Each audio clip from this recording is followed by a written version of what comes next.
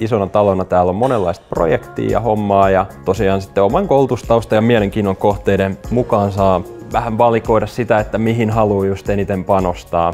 Vaihtoehtoja kyllä löytyy ja sen homman saa tehdä sitten ihan sillä tavalla kuin itse haluaa, että jos haluaa istua kotona etänä tekemässä töitä, niin sekin onnistuu. Pääasia on se, että työt tulee tehtyä, että sille ei juurikaan ole väliä, että miten tai missä se sitten tehdään.